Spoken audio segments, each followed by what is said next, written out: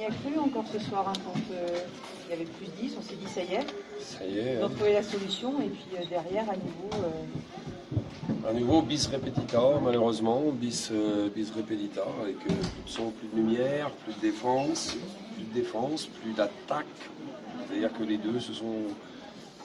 Les deux se sont resuivis dans le même contexte, un peu plus tardivement, enfin un peu plus tôt, pardon, c'est à, 2-3 minutes de la fin du troisième.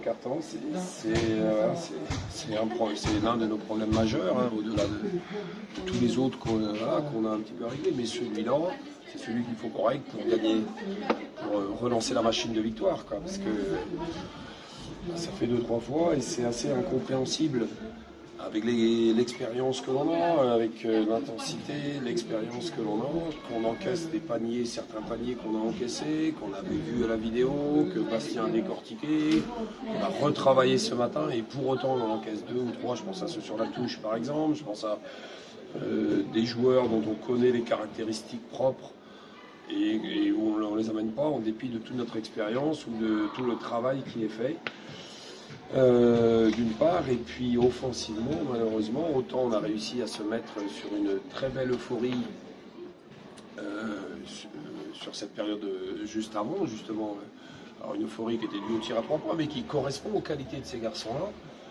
Euh, autant après derrière, c'est vrai qu'on n'arrive pas à résoudre le fait de, de notre circulation de balles, qu'elle soit sur des systèmes euh, combinés ou sur du jeu ouvert et que trop régulièrement, euh, vous avez pu le voir, on fige les ballons au lieu de profiter des décalages collectifs que l'on a, on n'anticipe pas, euh, on n'anticipe pas notre jeu les uns par rapport aux autres là-dessus.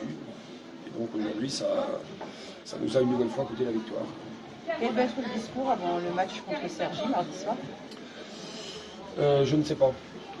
Non, je ne sais pas encore. Vous voyez, là même, c'est ce que j'ai dit aux joueurs. J'étais un peu euh, démuni de discours immédiat là ce soir. J'ai besoin de prendre un peu de, recul. C'est vrai que là, on est quand même sur une accumulation. On avait, on avait nos explications qui, moi, me paraissaient cohérentes euh, au regard de notre préparation compliquée, de la blessure de Rémi, de l'intégration de Mou, voilà.